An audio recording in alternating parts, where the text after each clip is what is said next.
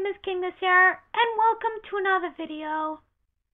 Where today I've got some bad news regarding the first part of the finale.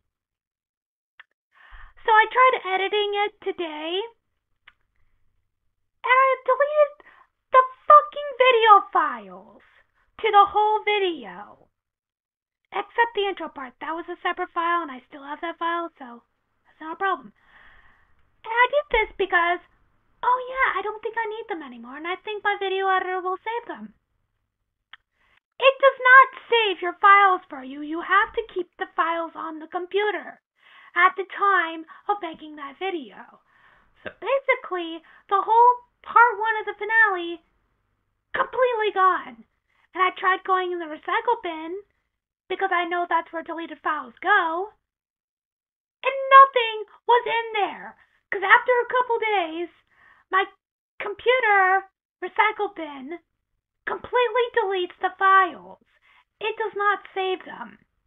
Ever. So basically, now I have to release part two by itself without part one. Which, yes, is a problem.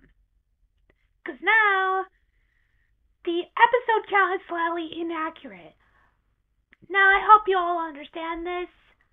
Um, this was a mistake on my part because I have no fucking idea how to use technology ever. So basically, whatever happens, yeah.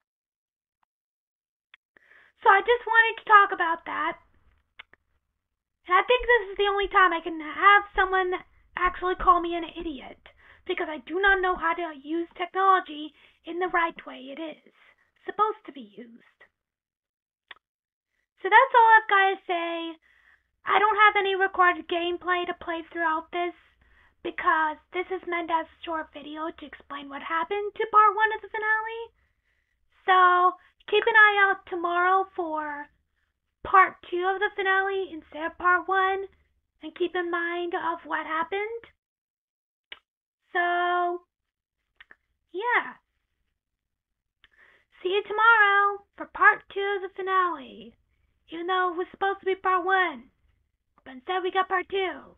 I hope you're alright with this. I still can't believe I'm that stupid with technology.